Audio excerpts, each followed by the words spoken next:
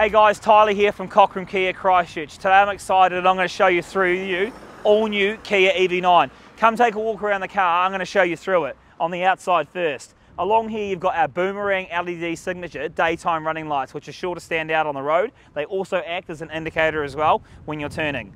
Come along the side of the car, you've got an impressive 21 inch wheel mag design for an electric vehicle. That's a serious wheel. Along here, you've even got a digital live feed camera mirror which projects to inside screens on the inside of the car to show you along. Come along the side of the car and you'll see that we've got a black gloss painted exterior finish which runs along each wheel arch along the side of the car coming along.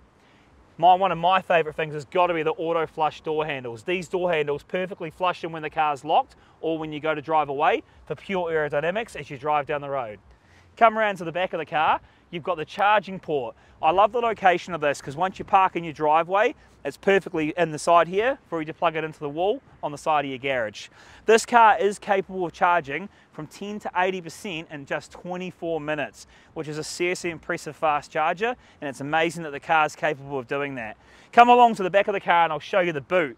Because of the size of this car, it is a very decent sized boot. If you fold all the seats down, you've actually got a whopping 2,318 litre boot capacity. The folding of the seats is a breeze of just pulling a lever and then just releasing the seats on both sides. Drops down, so you've got extra boot space there as well.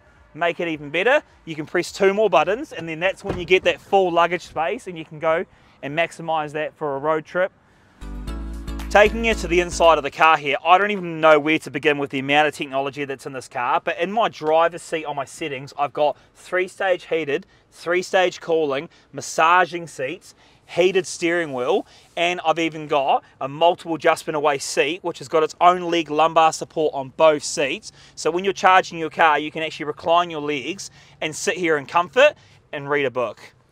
Coming along to the inside of the dash here, you've got a dual 12 inch digital screen, which has got all your speedo reading, your energy economy, all that sort of stuff built in here.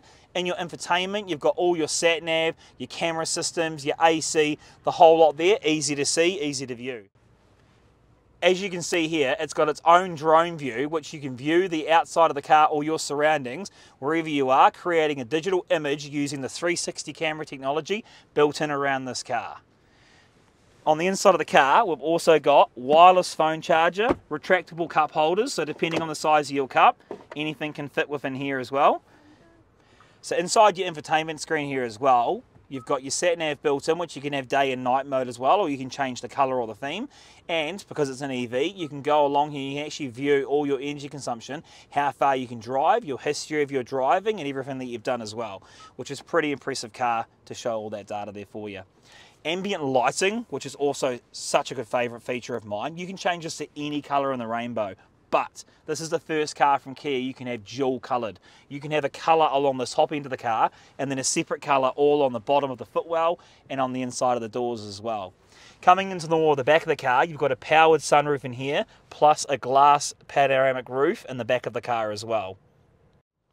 Also, by a flick of a switch, you can actually have a digital live feed rear view camera, which I think is pretty cool.